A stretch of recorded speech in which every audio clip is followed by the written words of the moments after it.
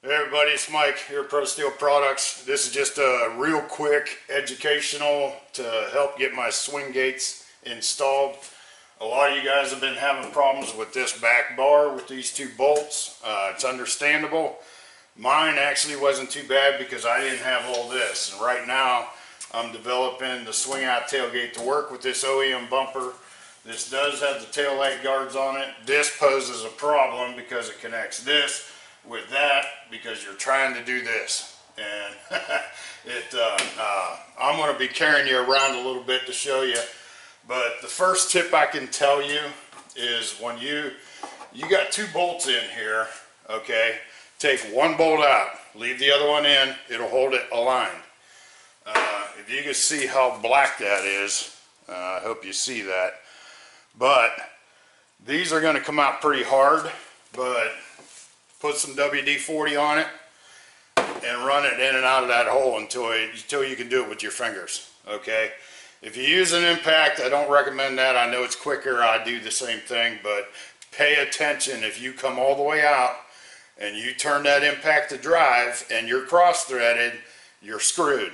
I'm telling you, you do not want to uh, cross-thread these. Uh, a couple people called, I think they did. Uh, their job just went from a couple hours to uh, probably four or five hours by tapping it out and all that stuff, taking the bars off. Because uh, you're going to have to have them bars off to tap those per, pretty much. So pay attention to this. Go in and out, in and out, in and out until you can do it with your fingers. Then tighten it down, go to the other bolt. Then you're going to do the same thing with the other bolt. You're going to pull it out, you're going to lube it up, lube inside the threads, go in and out, in and out, until you can finger thread it. Okay. Then, after you get that done, uh, by the way, this one here is a customer machine, and it, uh, I borrowed it because uh, I'm building the swing out tailgate for this. Now, this connects everything here, and remember them bolts up, uh, I'm going to carry around so don't get dizzy. But there is, uh, I'm going to move, I got the bottom bolts here loosened up but I am going to take this off up here to to break that connection from here to here okay? This connection because it's hard to move this. But I have to keep this installed because uh, I'm building the swing out tailgate to go over top of this okay? So uh, this I'm going to end up taking off to make it easier for me because it was nearly impossible to line that up with uh, with this that I was using before. You know, stick down in a hole and pry it over. This thing would not move. So I ended up, remember I told you to take these bolts up here out? I said just loosen them. Well, I removed them because after loosening them, I, I had a ratchet strap on there and everything and I couldn't get it to move so I ended up having to take all them bolts out.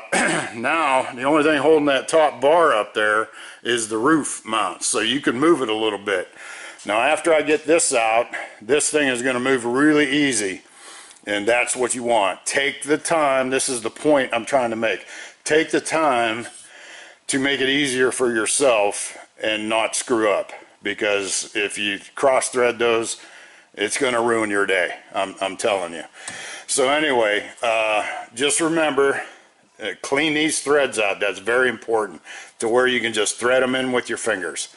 Then uh, take the top bolts out. That'll help you. And if you have these on, take these off or else loosen them. I'm going to loosen that clamp up there. Uh, I don't like those clamps up there. I've messed with them before. That's why I tried to do it without doing that. But I need the bumper installed. So this will make your your build or your install so much better. Just take those tips, uh, uh, loosen everything up so where you can just line it up. If you have to line it up with one of these, that's okay. But uh, I mean, I've even told people to put a ratchet strap around it and put your pickup truck behind it, chalk it up real good, and pull it. And because this one had to come back so I was ratchet strapping from up there down to here and uh, trying to pull it back and it's like, well, this thing is holding it. So I get rid of this, it should be good. So uh, many of you called and said you're having real big problems with them bolts, and I get it. Uh, I wanted to get this out there so you can possibly make your install a lot easier. This tailgate with the OEM bumper, I was supposed to have it done today. Today is Friday. Uh, I'm going to work through the weekend to get this done. I was pulled away to do some other things, so I'm going to be working on it today and maybe Saturday. I should have it done by Sunday, and uh, we'll get it out there on the internet. There's so many guys waiting on this. Uh, be patient. It's coming. It's going to be right when it's done.